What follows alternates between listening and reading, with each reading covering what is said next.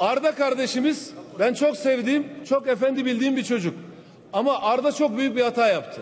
Ne hatası yaptı? Arda o olayı yaptı. Anlık bir şey gelişmiş olabilir. İnsanın psikolojisi bozuk olabilir. Büyük ihtimalle Barcelona'dan da ayrılacak. Belki o da onun psikolojisini bozmuş olabilir. Anlık diyelim ki orada bir şey kabul edilemez ama uçaktaki mesele kabul ettik bir an için.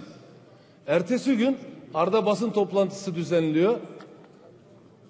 Hüseyin abi senin de öğrencin de. Bizim de kardeşimiz, mahallemizin çocuğu. Diyor ki, diyor ki milli takımı bıraktım diyor.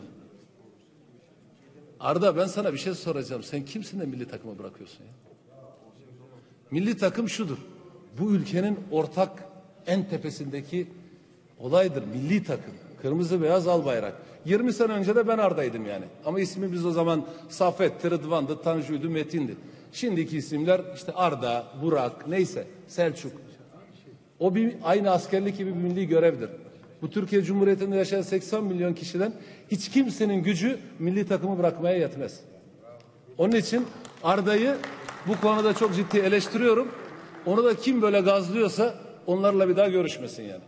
Arda sevdiğimiz bir çocuk ama milli takımı kimse bırakamaz. Al bayrağı kimse bırakamaz. Öyle bir lüksü yok kimsenin. Nasıl? Onu bilmiyorum o ki arkadaşlarımı.